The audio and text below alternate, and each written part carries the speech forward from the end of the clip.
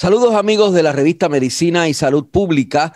Estamos transmitiendo en vivo este programa hoy eh, para hablar del proceso de vacunación. Ahí ha habido controversia en los medios de comunicación sobre si estamos eh, recibiendo la cantidad de vacunas que necesitamos y sobre si la estamos usando bien y sobre cómo estamos en este proceso de vacunación comparados con otras jurisdicciones de Estados Unidos y otros países del mundo.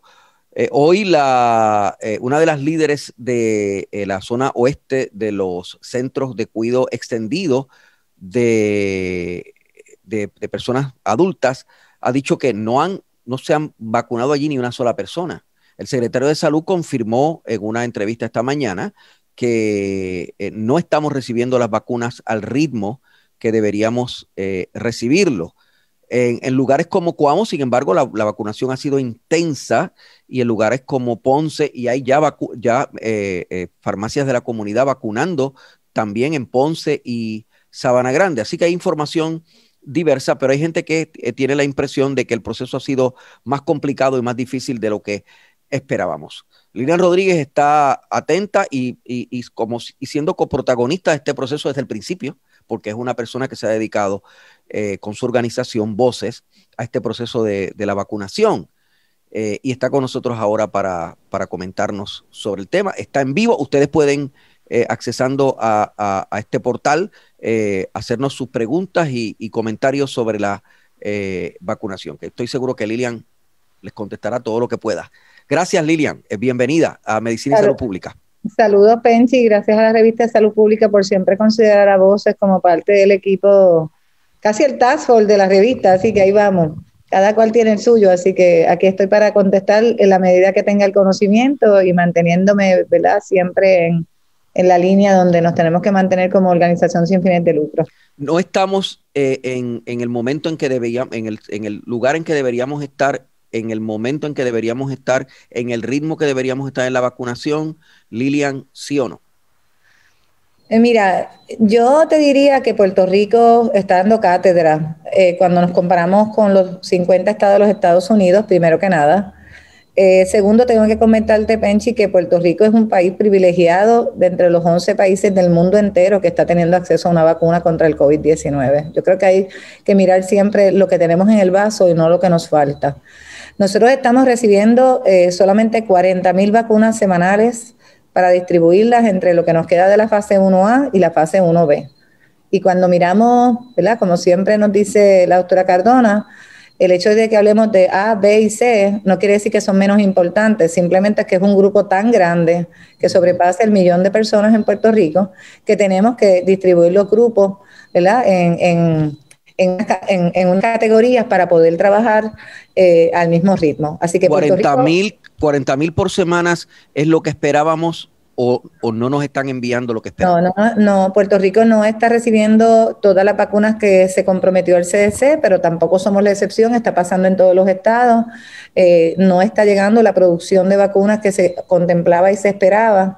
Eh, para la vacuna de Pfizer y la vacuna de Moderna, por ende, pues igual que a todo el mundo, nos han ido cortando un poco, ¿verdad? El inventario que tenemos. Sin embargo, ese inventario se está distribuyendo entre hospitales, IPA, centros 330, eh, ya hay centros de vacunación, muy bien lo dijiste, ya entraron al juego algunas farmacias de comunidad, las farmacias de cadena están manejando lo que son los centros de cuidado prolongado, o sea que estamos hablando de que entre las dos fases que tenemos abiertas ya, estamos hablando de casi un millón de personas. Así que yo creo que no lo estamos haciendo tan mal. De un millón de personas que hay que vacunar, no de un millón de personas que hemos vacunado. Eso es correcto, de un millón de personas que tenemos que vacunar, eso es correcto. Eh, hoy el secretario de Salud habló con mi compañero Julio Rivera Saniel de Radio Isla y le, admitió lo mismo que está diciendo Lilian. No nos ha llegado la cantidad de vacunas que eh, se supone que, debía haber llegado. Dijo el secretario de Salud hace un rato eh, en, su, en su página de, Facebook. Al, al momento hemos recibido 270.750 vacunas distribuidas en 221.000 registradas 136 mil. La diferencia entre distribuidas y registradas se debe a vacunas entregadas a proveedores listas para administrar y administradas a pacientes y están por entrar al sistema. Pero vamos a seguir mejorando. Esa es la, esa es la, esto que dice el secretario, que lo estamos viendo eh, en pantalla, ¿verdad? Para los que nos están viendo, los que nos están eh, en estos momentos accesando a través de Medicina y Salud Pública, es la información correcta. Son 270.750 vacunas eh, distribuidas, 221.000, registradas 136.000. Ahí hay como que un escalón ahí de, recibidas, distribuidas y registradas. Okay, yo quisiera explicar un poquito el proceso de vacunación porque la gente piensa que simplemente es un pinchazo y sigue caminando. Cuando la persona llega a un centro de vacunación, no importa el que sea, entra y se llena una hoja de registro donde se coge toda la información personal del paciente. Eh, aproximadamente es un cuestionario que tiene como unas 24 preguntas a 25 preguntas que tenemos que llenar. Eso nos toma aproximadamente, pudiera, en un adulto mayor nos puede tomar hasta 8 o 10 minutos, porque es información de tu nombre, tu seguro social, tu fecha de nacimiento y así por el estilo, condiciones crónicas, eh. Hacemos como una precualificación del paciente en el sentido de si cualificas para la vacuna o no. El 99% cualifica. Luego de eso pasa a la estación de vacunación y recibe su vacuna y recibe su tarjeta de su vacuna administrada. Esa información es privada. Es privada, eso es correcto. Entonces, no solamente eso, después de ese documento, nosotros lo llevamos a un grupo de personas que está adiestrada por la ley IPA, que está preparada para entrar la data. Eh, en el sistema de inmunización del Departamento de Salud. Así que no todo el mundo puede entrar la data, así que no todo el mundo puede ser voluntario para trabajar en esa área. Así que normalmente, ¿verdad? Siempre ha pasado históricamente que tenemos mayor vacunación que entrada de datos. Así que una de las áreas que estamos conscientes todos los proveedores que tenemos que aumentar la capacidad de voluntarios, o sea, de personas entrando data para poder mantener el balance. Eso no quiere decir que la data que acabas de presentar del secretario, que las dosis distribuidas no hayan sido administradas. De acuerdo a la información que yo tengo, más del 70% de estas dosis han sido administradas, pero al reportarlas al CDC, pues aparecen como data entrada, que es el número que ellos utilizan para hablar del por ciento que Puerto Rico tiene este, en utilización. Ahí es que está la, entre las recibidas, las eh, suministradas o las aplicadas y las registradas. Las registradas es, un número mucho menor a las recibidas. Pero te puedo, te puedo ¿verdad? compartir que en, los grupos de trabajo al que yo estoy participando ¿verdad? como representante de voces, eh, nosotros pudiéramos evaluar el trabajo que se está haciendo y quisiéramos tener más, pero no tenemos más vacunas disponibles hasta que el CDC pueda entonces abrir un poquito más esa pluma y distribuir más vacunas como tal. También estamos recibiendo 40 mil a la semana. Semanales de la, de la primera dosis de la primera dosis. ¿Cuántas deberíamos estar recibiendo realmente en estos Bueno, originalmente se habló en un principio de sobre 100 mil dosis eh, que se iban a estar recibiendo y la realidad es que, semanales. Semanales. O sea que estamos recibiendo menos, de, menos de la mitad de lo que se supone que estaríamos recibiendo. Pero lo que sucede es, Penchi, que Puerto Rico no tiene que ver con que Puerto Rico haya hecho nada malo, porque Puerto Rico a diferencia de muchos estados que todavía su programa de vacunación no ha comenzado, cumplió con la documentación, sometió la documentación a tiempo, está ha trabajado, esa parte yo le tengo que dar al programa de vacunación una A+. Eh, porque hay otros estados que todavía, a un mes de haber aprobado la vacuna, no están ni tan siquiera recibiendo vacunas porque no han hecho el proceso que tienen que seguir. También se, también se identificó los freezers donde estas vacunas pueden estar en las diferentes regiones para poder movilizar, sobre todo la vacuna de Pfizer, que es una vacuna un poquito más compleja en su manejo. Eh, es una vacuna que tiene que estar a menos 80 y cuando yo la saco del freezer, lo que tengo son cinco días para administrarla. O sea que, que, realmente, ¿verdad? Tenemos que, yo quisiera que la población en general eh, vea lo complejo que es esto, que esto no es simplemente poner una vacuna, sino que es un proceso de vacunación y que las personas que lo deben de estar manejando son personas preparadas para hacerlo y con, ¿verdad? con las debidas licencias en Puerto Rico para hacerlo también. Bueno, aquí tenemos un, reporte que, reproduce Bloomberg, la agencia de noticias Bloomberg, que maneja muchos temas económicos y dice que Puerto Rico ha recibido, dice que Puerto Rico ha recibido más vacunas de lo que admite el secretario. Dice que Puerto Rico ha recibido 311 mil vacunas. Y de esas, vamos a ver la, vamos a ver la gráfica para que la gente lo pueda ver, incluso la pueda ver comparado con, con otras jurisdicciones. Dice que Puerto Rico ha recibido 311 mil vacunas 311.325 y ha usado 104.137, lo que representa un 33.4% de las vacunas recibidas. Dicho sea de paso, la misma gráfica dice que Alaska ha usado el 36%, eh, Missouri ha, usado el 36, Washington ha usado el 34, eh, otras, eh, otras jurisdicciones federales o entidades federales han usado el 34, Puerto Rico el 33, North Carolina el 32, Hawái el 30. O sea que nosotros estamos en el mismo vecindario que todo el mundo en cuanto a la utilización, según el reporte de Bloomberg. Quizás el, único, el único que está, los únicos que están por encima de nosotros son aquí Alaska, Missouri pero recuerda, Penchi, recuerda que esa utilización la están midiendo por el registro.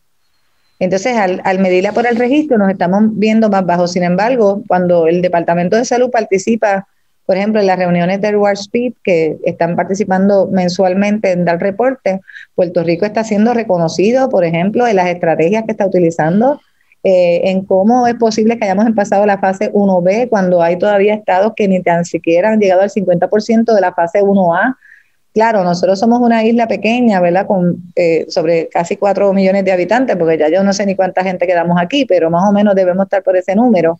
Por, las, por, los 3 millones algo. Por los exacto, así que por ende, dentro, dentro, de, ¿verdad? dentro de la situación, yo te diría que el, el, aquí también hay un elemento que debemos de mirar, y es el hecho de, y es el hecho de que, de que también estamos teniendo una demanda de personas que se quieren vacunar, lo cual a mí me tiene súper feliz, porque yo creo que COVID nos ha venido a enseñar la importancia de la vacunación, que esto yo, tú y yo lo hemos discutido antes, y todo el mundo, inclusive personas que no creen en la vacunación, se quieren poner la vacuna de COVID. Así que yo que estoy manejando un centro de vacunación de población 65 años o más, le tengo que decir que hoy vacunamos 540 personas 65 plus.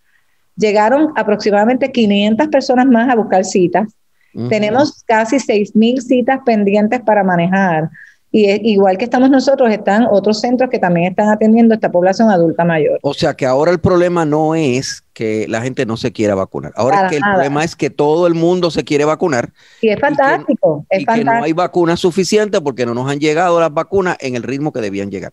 Pero va, va, esperamos, ¿verdad? Todos tenemos puesto nuestra, nuestro empeño en que eso va a llegar el momento en que se va a ir se va a ir normalizando y vamos a tener vacunas para todo, lo, para todo Puerto Rico, como muy bien nos dice la doctora Caldona, donde va a haber vacunas para todos. De hecho, eh, yo sé que a usted no le gusta hablar de política, pero hay una realidad política. Esto se da en un momento de transición. Hay un cambio de mando que, que, es pasado mañana en la presidencia de Estados Unidos. El presidente saliente de Estados Unidos le dio mucha prioridad a si se quedaba o no, si podía haber nuevas elecciones o no había elecciones. Se, se quedó metido en un proceso eh, sobre si podían impugnarse las elecciones y no le dio prioridad a este asunto de las vacunas. esa es la verdad objetiva. Yo, te diría que, yo te diría que más allá que la prioridad, es que tal vez precisamente, ¿verdad? Trump no, nunca fue una persona que defendió mucho la vacunación. De hecho, él hizo unas impresiones durante su campaña política en contra de la vacunación, lo cual a nosotros nos preocupó muchísimo.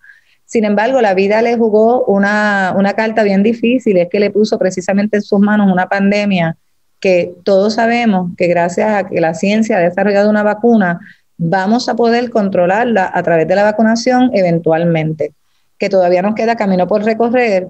Y pues todo es de conocimiento público que en un momento dado, cuando él tuvo la oportunidad de comprar todo el inventario de una de las compañías que manufacturó la vacuna, él no lo compró completo y pues se le vendió a otro país. Así que ahora... estuvo todo el tiempo en negación. Al principio dijo que esto era un catarrito. Primero dijo que era un virus que solamente eh, iba a impactar China y el Oriente. Después dijo que era un catarrito. Después dijo, eh, habló de unos medicamentos que finalmente no resultaron ser los más eh, apropiados.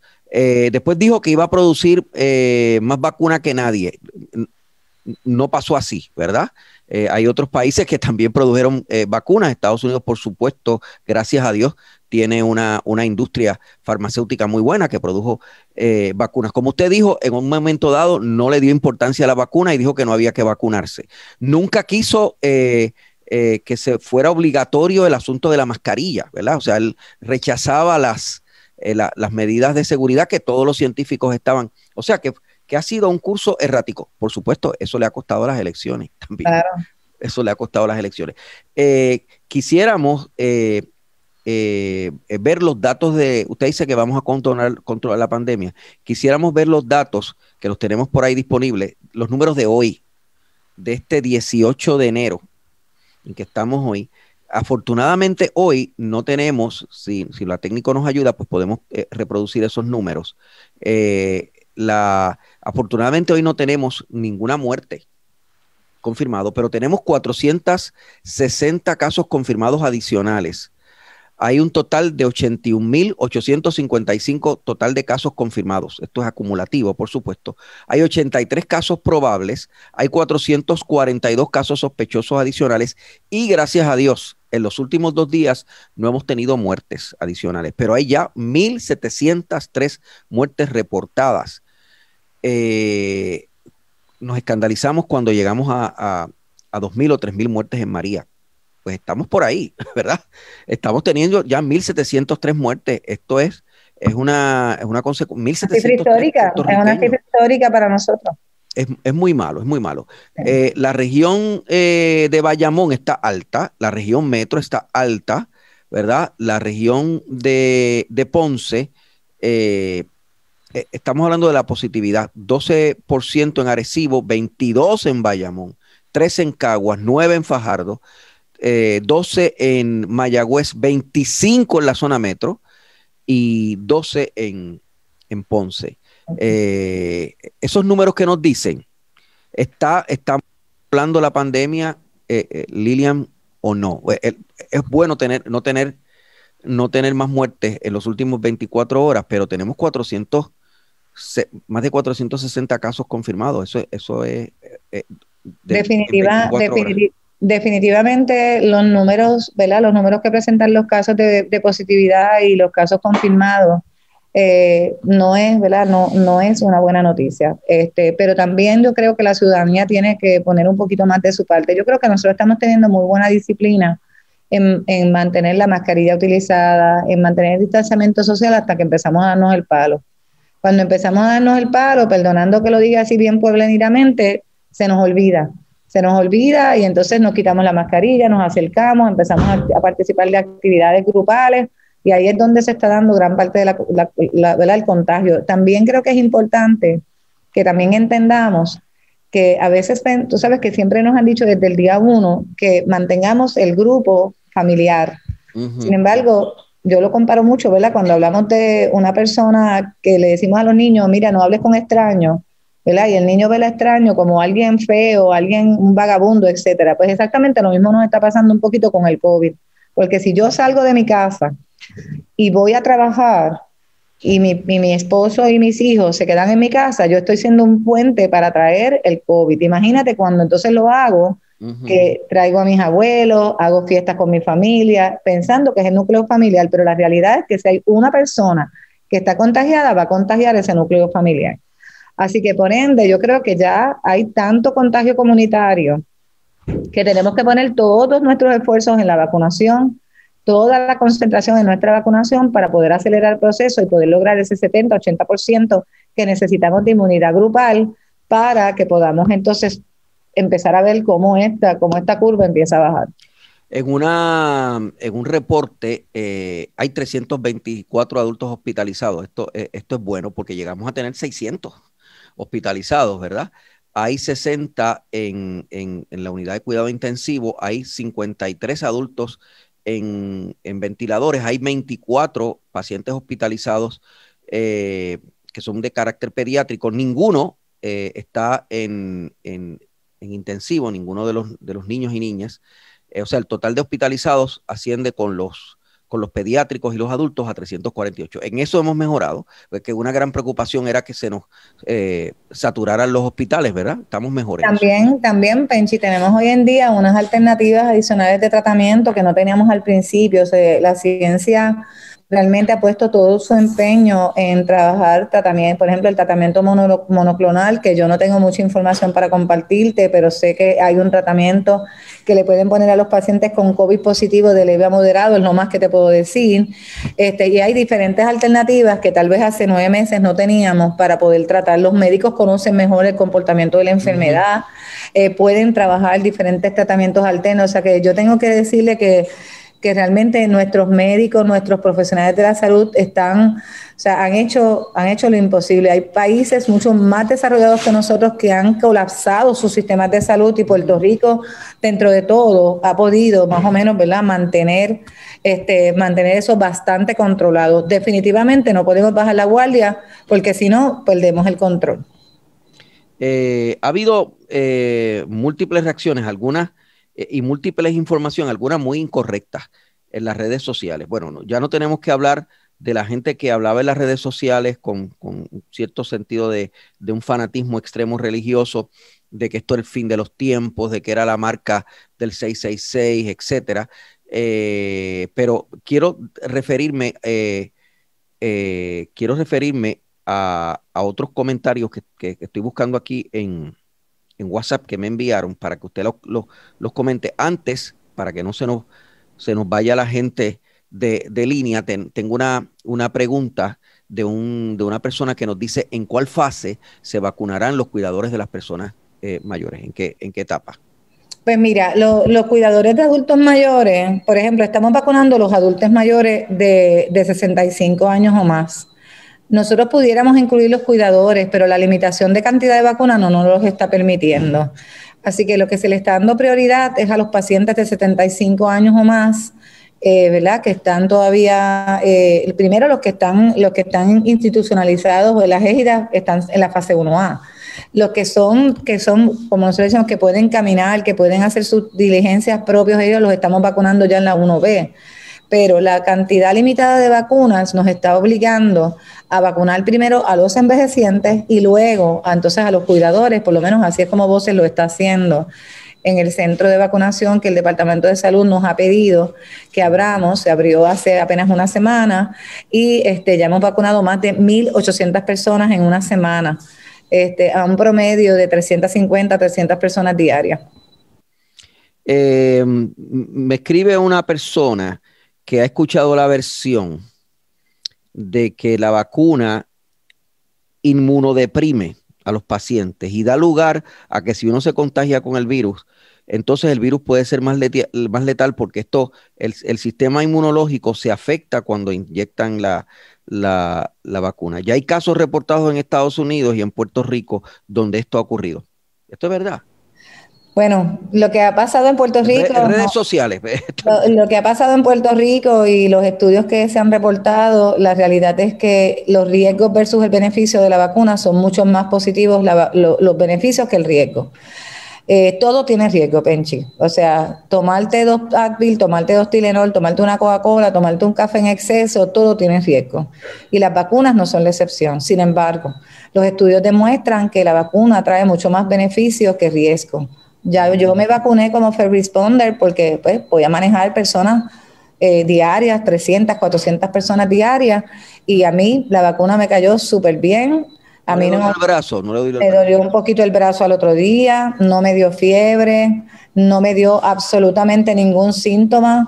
Eh, así que te tengo que decir... que se está vacunando ahí es Andrés Jiménez. vacunándose, sí.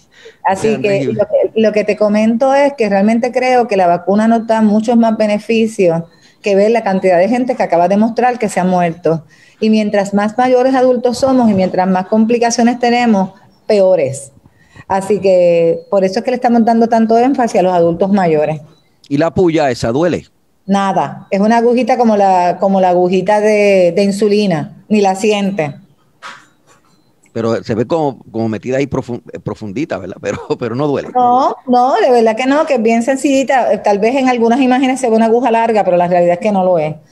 Este, no lo es. Así que nada, la motivación es a que esperemos nuestro turno, que esperemos cuando nos toca, que estemos pendientes de los medios, que estemos pendientes, ¿verdad? A la revista de Medicina y Salud Pública que siempre nos mantiene al día este, y también obviamente que busquen nuestra página vocespr.org para que usted se pueda mantener informado de lo más actualizado como tal.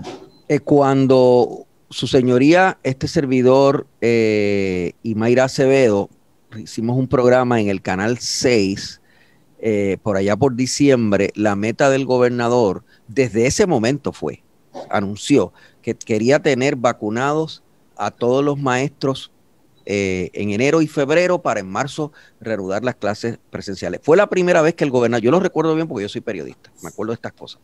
Y, todavía, y todavía sigue en su plan, Penchi. Y todavía sigue en su plan. Fue la primera vez que lo dijo.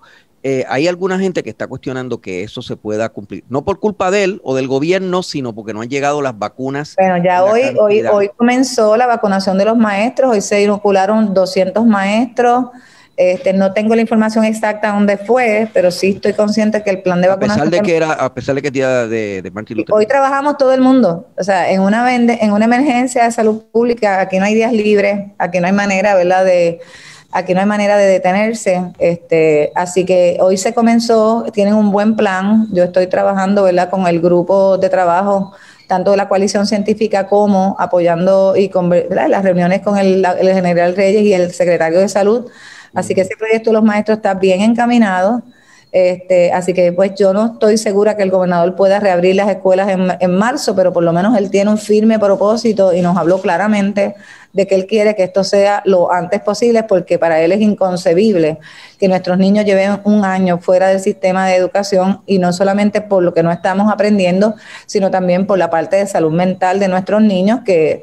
¿sabe? Ese es su, ¿verdad? es, un es, un disloque total de la sociedad. Pero, pero Penchi, para, para cerrar, te tengo que decir, te tengo que decir que yo creo que eso es lo más valioso que nos ha enseñado COVID.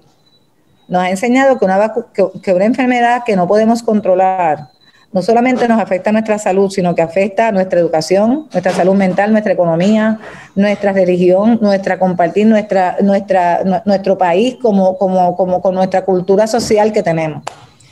O sea, pero, pero usted no está segura de que en marzo se puedan reabrir. No lo sé, no te sé contestar. No, te sé contestar, Penchi. Eh, está está eh, una persona preguntando cuál va a ser el protocolo para los encamados. Para los encamados no tengo el conocimiento. Eh, no, tengo el conocimiento para, para, para facilitártelo. Así que... Pero van a... no, te la puedo, están, están contemplados en el Departamento de Salud, pero no tengo el conocimiento.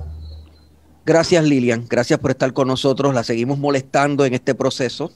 Estamos para, estamos para servirle, aparte de que ¿verdad? me siento muy, muy agraciada de ser parte de, Medicina y Salud Pública y colaborar con el equipo tan profesional que tienen. Gracias por... por... Salud Pública con Lilian Rodríguez. Mi nombre es Luis Penchi. Esta es nuestra información para hoy, porque Medicina y Salud Pública eh, estamos generando noticias eh, e información sobre salud y ciencia. La ciencia es noticia. Gracias. Muchas gracias, Penchi.